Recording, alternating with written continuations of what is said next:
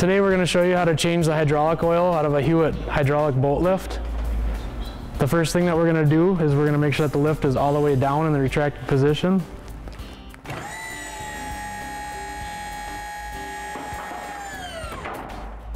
Once the lift is all the way down, we're going to disconnect the pump from the battery and then we're going to disconnect the hydraulic hoses from the lift.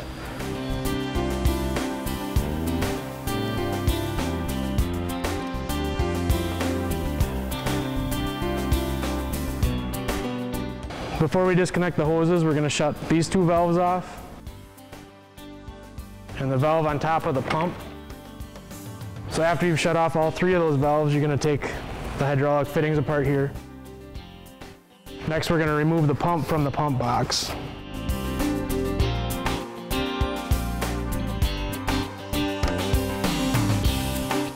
Then we're going to disconnect from the control box.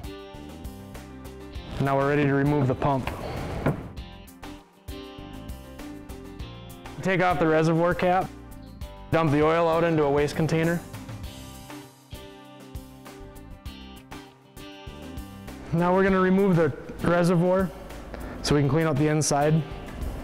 First thing we're going to do is loosen the filter hose.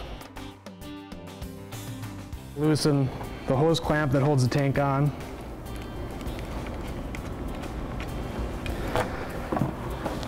And then we have to pry the tank off these can be pretty tight sometimes. You have to get a screwdriver wedged in on each side and work at it to get it off. Once the tank is loose, you have to lift it out of the filter hose here, then it should be ready to come off. And you're gonna lose some oil, it's, it's gonna make a mess. This is also a good time to clean the screen out or replace. If you replace it, they'll just pull off of the bottom of this elbow and then you'll push a new one on. You can kind of spin them off usually. Um, again, those are pretty tight. So the next thing we'll do is we'll dump the rest of the oil out of the tank and then use a brake clean and some rags, clean the tank out, get all the scum and stuff out of there, and then we'll reassemble it. Make sure your hose clamp's still on here, otherwise you'll be taking the tank off again.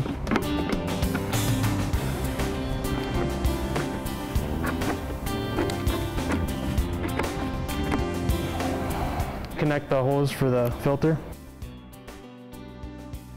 And now would be a good time to change your filter if you're gonna do that. You just unscrew it, screw a new one back on. The part number for your filter for your pump will be located on the bottom of the warning sticker underneath the lid in your pump box. It'll have the right one for your model. And now we're gonna reassemble the pump into the pump box. We have to line up our holes and bolt it from the bottom side again.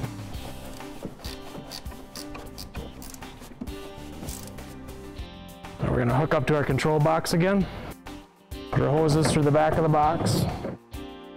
Reconnect the battery, making sure we have the positive cable on the positive of the battery and the negative on the negative. Make sure we tighten those down with a wrench. Now we're gonna reconnect our hoses to our pump box. We're only gonna hook up one of them for now. The hose from the pump box that has the male fitting on it is the one we're gonna hook up and it goes to the female fitting from the lift. And again, you have to make sure you use a wrench to tighten them so that they're in all the way.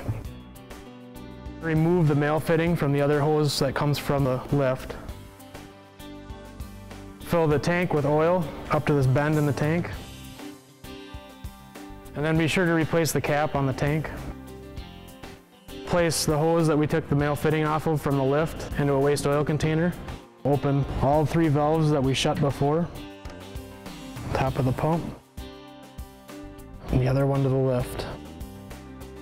Now with the hose in the waste oil container and watching the level of the oil in the tank, we're gonna run the lift up.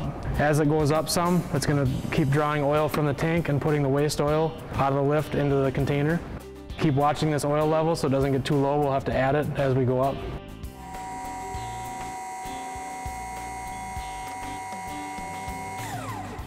Now that there's about an inch and a half left in the bottom of the tank, we're gonna add some oil to it. We'll fill it up to the neck one more time on the tank. Replace your cap. Remember to keep an eye on your waste oil container too so that's not getting too full. And we'll keep running the lift up.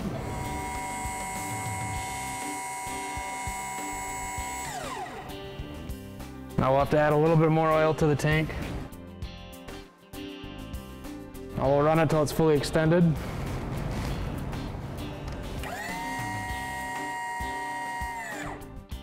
Now that it's fully extended, replace the male fitting on the hose that we took off. But first we need to put Teflon tape on the fitting. Make sure you get it nice and tight. Reconnect it to the pump box. Make sure you get that nice and tight also. Now after you have that fitting tight, you're ready to run your lift all the way down. Before you run your lift down, you want to make sure that you have at least two inches of oil in your reservoir. Once you do that, it's ready to start going down. Now your oil change on your hydraulic boat lift is complete.